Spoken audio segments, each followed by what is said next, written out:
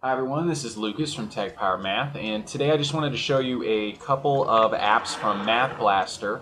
Um, I've reviewed Math Blaster's online website in the past, and uh, these games are straight out of these apps. App games are straight out of the the website. Um, a little bit simplified in that you can't like uh, exit the game and, and walk around in the online world, but the games look and feel pretty much exactly as they are in the online environment. And so, first one I wanted to show you is Zapper.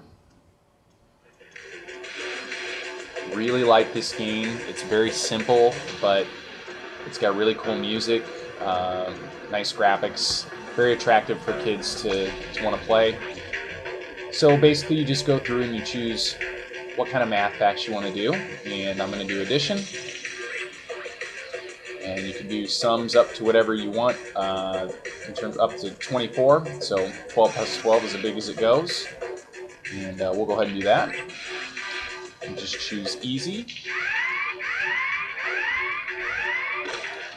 Okay so the way this works is you you control your targeting with one thumb or finger and then you've got the ability while you're doing that to shoot with the other one.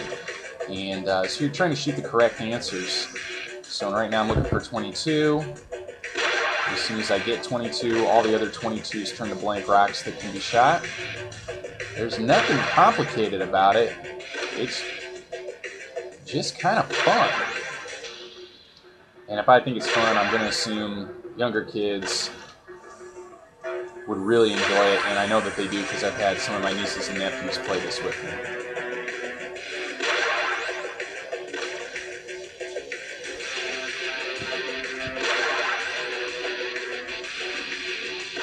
And once you get enough of these, you, you do end up clearing a level and moving on.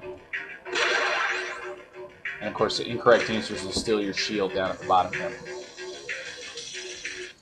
So the other one I show, want to show you is Hyper Blast, and uh, this does involve tilting tilting the iPad, so it'd be a little harder for me to keep it on screen, but I'm going to do my best. Uh, similar choices at the beginning of the game.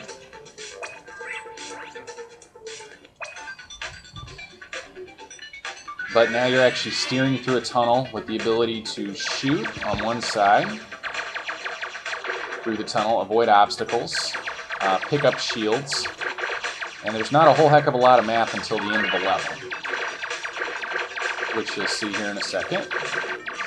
And if you get too much stuff on the screen, you can shoot a blast and wipe out everything on the screen. Again, pretty, really fun gameplay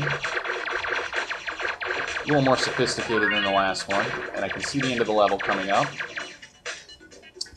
And at this point, I need to get as many of these answers right as I can in about a minute or so, because doing so will earn me more blasts, and as the game goes along, it's a very hard to continue progressing without more blasts.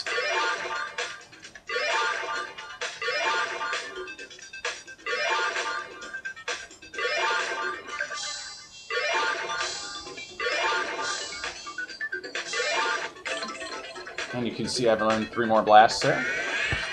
And I continue on my way, and of course the further you go, the more obstacles there are that you've got to avoid.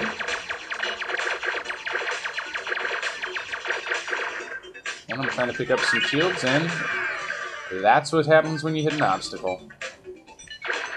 So that should give you a pretty good feel for some of these apps from Math Blaster.